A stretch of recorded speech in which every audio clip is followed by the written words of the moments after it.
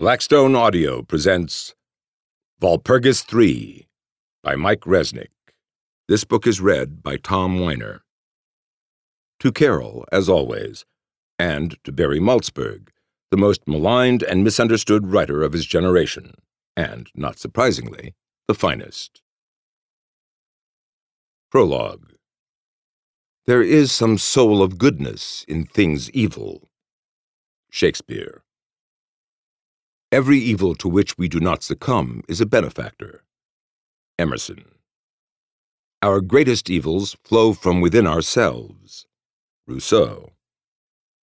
They were all wrong. There is no explanation for evil. It must be looked upon as a necessary part of the order of the universe. To ignore it is childish. To bewail it, senseless. Mom. He came close. Evil is its own justification. It therefore renders meaningless even such questions as power, pleasure, and profit. Conrad Bland. He knew, but of course he would. He killed 11 million men in the death camps of Pilor 9 during the brief reign of the mad Emperor Justacious. He killed 17 million men on Boriga II in a manner that made the gas ovens of ancient Earth and his Third Reich seem compassionate. He killed 5 million women and children on New Rhodesia. He killed 3,017 men on Cambria III, each in a different way. He invented torture devices that even Spica 6, which was in revolt against the Republic, would not use. No photograph, holograph, or video disc of him was known to exist. He had never been fingerprinted. There was no voice or retina identification pattern on him in any computer. He had no bank account on any world, no financial or property holdings that anyone had been able to trace. His planet of origin was unknown.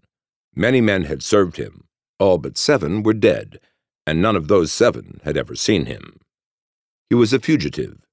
His name was Conrad Bland, and he was, for the moment, safe. 1. If you kill one man, you are an assassin. If you kill millions, you are a conqueror. If you kill everyone, you are a god. Conrad Bland. Orestes Mella walked past the snakes and scorpions, past the elephants and lemurs, past the eight-legged Rigelian herbivores and the blob-like vegan carnivores, and the armored spican omnivores, marveling that they had all managed to adapt to the hothouse climate of Serengeti, the zoo world of the Terrazane sector. He began to wipe the sweat from his pudgy face, then decided that he didn't want to call even more attention to the small briefcase that was chained to his wrist, and stopped in mid-motion. He checked his handout map, pinpointed the aviary some six miles away, and flagged down a robotic cart. Serengeti wasn't that fascinating, and there was no sense arriving at his destination too winded to talk. The cart left him off a few minutes later, and he produced a token that gained him access to the screen covered path that wound its way through the sanctuary. He walked along it for almost a mile, wondering why they kept the birds of different worlds separated and trying to get used to the odor. Finally, he came to a circular area filled with benches and tables and an automated refreshment stand. Three men and a woman sat at various tables, and an ancient uniformed attendant was painfully picking up rubbish from a number of deserted benches. Mella surveyed the four. Two of the men were too young, and the woman seemed too frail, though she was a possibility.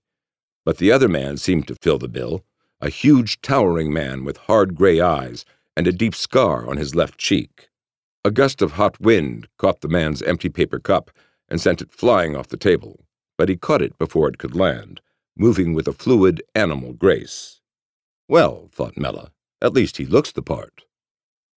Mella waited, uncertain of how to initiate his approach, and a moment later the huge man stood up, stretched like some savage jungle cat, and strode off. Puzzled, Mella thought of walking after him, but chose to remain seated. The two young men left about five minutes later, and a moment after that the woman followed them. The grizzled attendant approached him. Do you mind if I sit down for a moment, sir? he said in a voice weak with age. It's hot, thirsty work, cleaning up after the tourists. I'd prefer you sat elsewhere. We hope you enjoyed this preview. To continue listening to this audiobook on Google Play Books, use the link in the video description.